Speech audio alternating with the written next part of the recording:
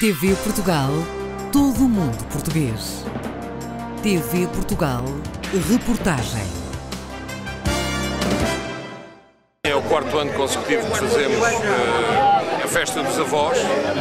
Como o próprio nome indica, uh, é uma festa para uma faixa etária da, da, da, da população acima dos 65 anos. Uh, e como veem, temos aqui cerca de 350 pessoas e que vêm comemorar uma vez por ano, uh, esta, têm que comemorar uma vez por ano, claro, a questão do Dia dos Avós, mas isto ao, ao mesmo tempo, para além da comemoração de ser o Dia do Avô e da Avó, é, é uma situação muito, muito importante porque vai juntar pessoas que não se veem durante o ano. Uh, familiares, uh, eu lembro-me no primeiro ano da festa dos avós, feita em 2010, havia pessoas que não se viam há 10 anos e viviam a cerca de mil metros na Açafora com, com a Tujeira.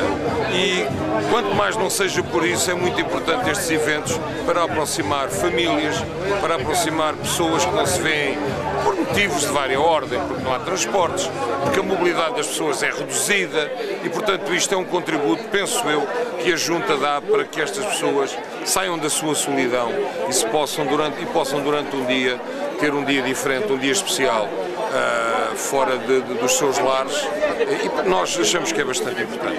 A Junta, todos os anos, num espaço de tempo, abre as inscrições para que as pessoas se inscrevam este ano demos prioridade às pessoas que nunca vieram a este evento. Claro que nós não podemos andar a bater à porta das pessoas, olha, quer vir aqui ou quer vir acolá.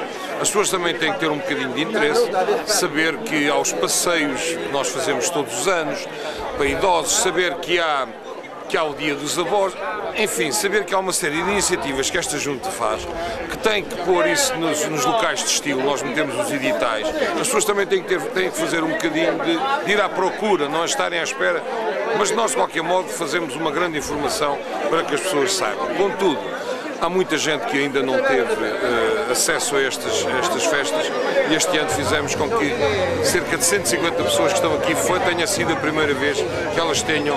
E o agrado é geral. As pessoas felicitam, agradecem-me. Uh, isto não tem nada que me agradecer, isto somos nós estamos cá para uh, desenvolver este tipo de atividade e ficamos felizes por ver que os outros felizes. Alvarinhos porquê? É como sabe, para fazer este tipo de evento com cerca de 350 pessoas sentadas a comer, temos que ter espaço. E, e, e, e, lógico que nós queremos ir ao encontro das localidades que tenham pavilhões ou que tenham casas de espetáculos com espaço para acolher tanta gente e tenham, tenham infraestruturas a nível de higiene e a nível de, de, de cozinha para fazer o, o, trabalho que nós fizemos aqui. Já fomos à Safora, já fomos ao MTBA, já fomos a Santa Susana, este ano calha Alvarim, o futuro a Deus pertence e então vamos ver uh, se vamos uh, para outras localidades que tenham as condições para este tipo de, de evento. Onde espera estar cá? Espero. Não depende de mim, como deve calcular, mas espero cá estar e se cá estiver, haveremos de ir para outro local e havemos de continuar a fazer o mesmo trabalho, melhorá-lo, se possível, para que os nossos fregueses, os nossos idosos, continuem a sentir-se, pelo menos, um dia feliz na, na solidão da vida deles.